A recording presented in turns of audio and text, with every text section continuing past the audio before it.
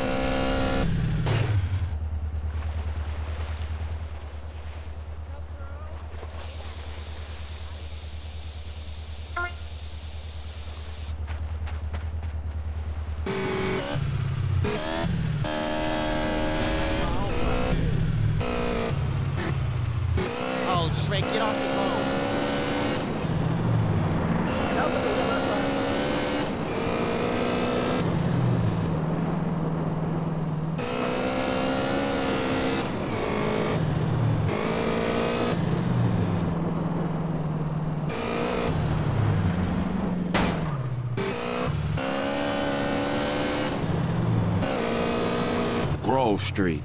Home. At least it was before I fucked everything up.